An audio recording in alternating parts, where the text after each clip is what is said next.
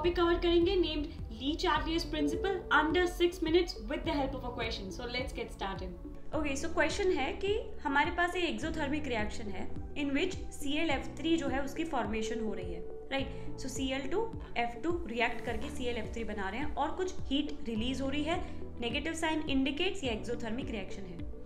हमें बताना है किस तरीके से हम सी एल एफ़ थ्री की क्वांटिटी को बढ़ा सकते हैं या इसकी प्रोडक्शन को बढ़ा सकते हैं।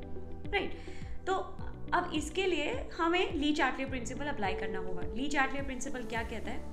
ली चार्टलियर प्रिंसिपल से जब भी कोई रिएक्शन एक डायनामिक इक्विलिब्रियम में है डायनामिक इक्विलिब्रियम का मतलब क्या है? कि for example in this case chlorine और फ्लोरीन रिएक्ट करके प्रोडक्ट बना रहे हैं। At the same time product is also forming the reactant back again so that means that continuously हमारी जो है, वो रिएक्शन चल रही है बट क्योंकि कंसंट्रेशन चेंज नहीं हो रही है तो हमें लग रहा है कि वो values of concentration are same right अभी क्या हो रहा है? Rate of forward and rate of backward are equal so this is the state of dynamic equilibrium तो ली चार्टियर प्रिंसिपल कहता है, जब भी हमारा जो इक्विलिब्रियम है, वो डिस्टर्ब हो बाय एनी एनी मीन अगर उस पर कोई स्ट्रेस आता है तो equilibrium will behave in such a way that it will try to oppose that change और रेजिस्ट दैट चेंज राइट तो उस चेंज को अपोज करने की, कम करने की कोशिश करेगा इक्विलिब्रियम ऐसा क्यों करेगा?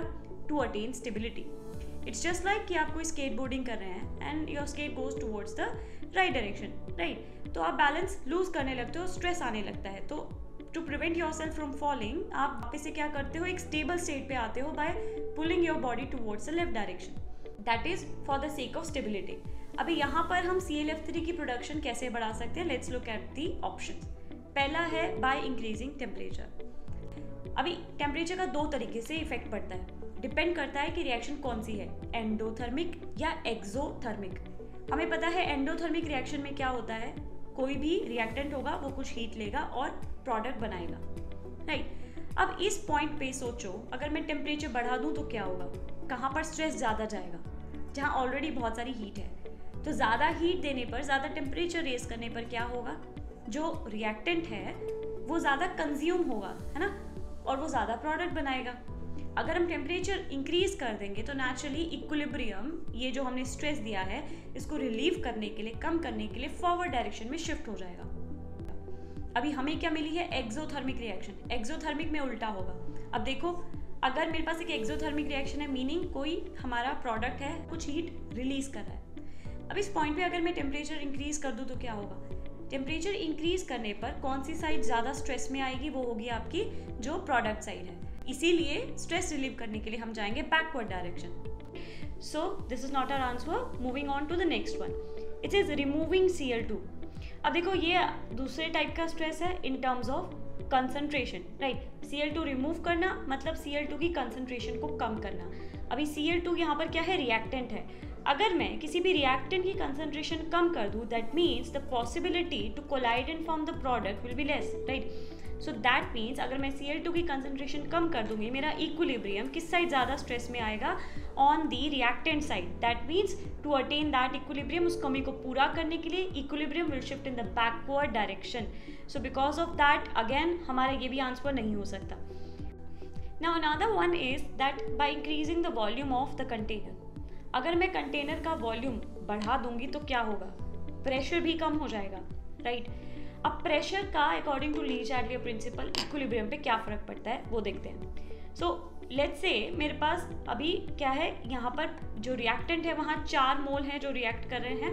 प्रोडक्ट साइड में दो मोल हमारे प्रोडक्ट बन रहे हैं। राइट सो टेल मी अगर मैं इस पूरे पर प्रेशर इंक्रीज कर दूँ कंसीडर अभी दैट ओनली प्रेशर इंक्रीज कर दूँ तो इक्विलिब्रियम पे क्या फ़र्क पड़ेगा?